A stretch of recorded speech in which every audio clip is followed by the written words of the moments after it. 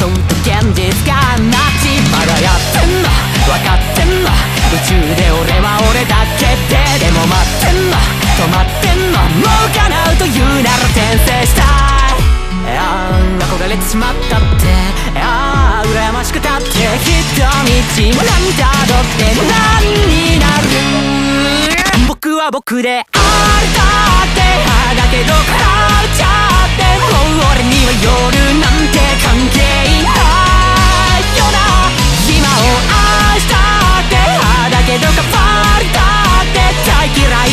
分ばっか残ってしまった。だけど痛い痛い未来に勝ち。不幸も子も超えた先へどんどん向かっていこうぜ。